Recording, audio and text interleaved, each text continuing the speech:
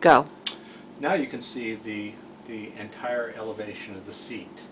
And um, it's relatively flat. There's a slight crown in the center, um, which is fine for Victorian pieces. Victorian pieces did typically crown a bit more than, than the earlier styles, for example in Regency or Empire. But I did not want the piece to crown significantly in the middle, and so I really attempted to make certain that the springs stayed down close to the same level in the middle as they are in the front and the rear.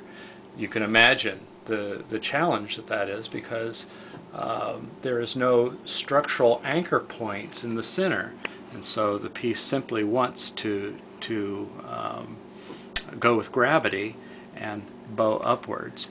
Some mitigating factors were the fact that the the there's so much tension on the springs that it stretched the webbing downward. You can see that it actually um, uh, pitched downward, so it, it worked in our favor in that it allowed that spring to drop a little bit.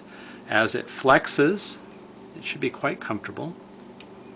You can see that now that this front spring is working semi-independently from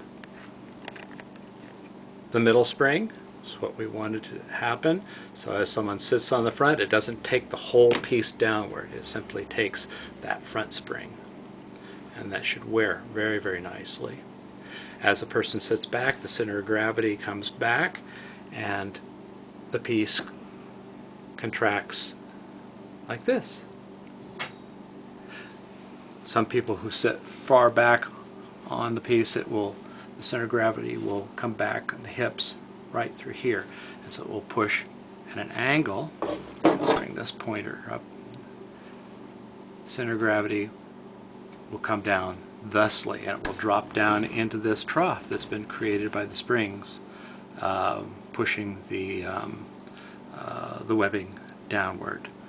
Um, you'll be able to see the elevation out here where the spring is omitted and once the once the pod and edge roll goes in you'll actually be able to see how it fills.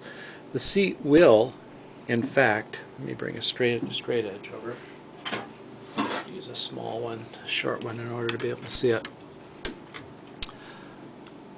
The pod which is filled with um, um, straw linen um, comes over the top of the springs and out to the front edge and drops straight down to the front edge. And so all of this will fill with fiber. And the fiber will be contained in burlap so it doesn't drop down inside the springs. Otherwise the springs would shred everything. And how do you deal with the fact that this has to move? What do you mean? Well, that's the big question because there is a there's a band that's attached along the front edge. We'll actually hand stitch to the upper portion of the pod, and it will become clear in the next step when you when you uh, film the next step. There will be a band that stitches along this elevation and rolls out thusly attaches down to the frame bottom. Every time this piece flexes, and I'm going to walk to the side and just, just watch this, it's going to condense the material. You can see how that band, the space becomes contracted more and more and more. So a way for that stuffing to push it back up into the cavity is going to have to be devised so that it doesn't end up pooching out and buckling between the seat structure and the base. I don't know how that's going to happen at this point. We're going to have to just see how it goes.